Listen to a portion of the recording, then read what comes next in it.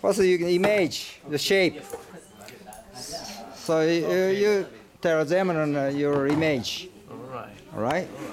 Uh, you- you can use this. Yes.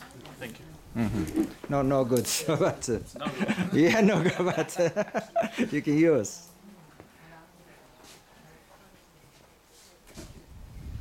You can take a time. okay. Uh huh.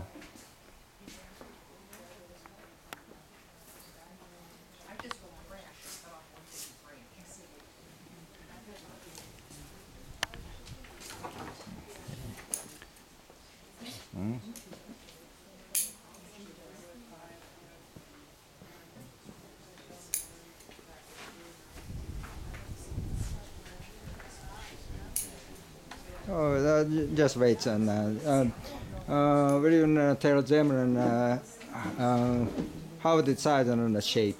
Oh, okay, okay. Okay? Did I tell you? Oh yeah, yes. Ok, bueno. Básicamente lo que hice fue este, ver la forma.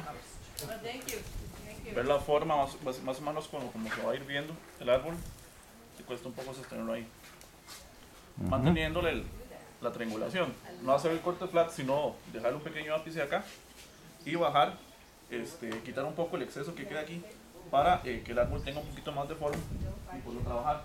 Este, luego creo que sería necesario inclusive ya luego bajar, bajar más las ramas, y eso sería con alambre para que el árbol se viera más, más extendido.